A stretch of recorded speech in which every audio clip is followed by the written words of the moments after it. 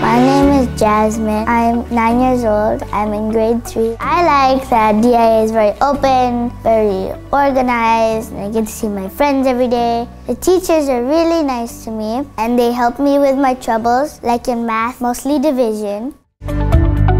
Opportunity DIA has given me is to make the community a better place. This also links to Student Council, We've put up so many events like selling t-shirts um, in order to raise 600,000 shillings to buy recycling bins for a local school and to teach them how to recycle. And I think that was a big opportunity DIA has given to me to make the community a better place.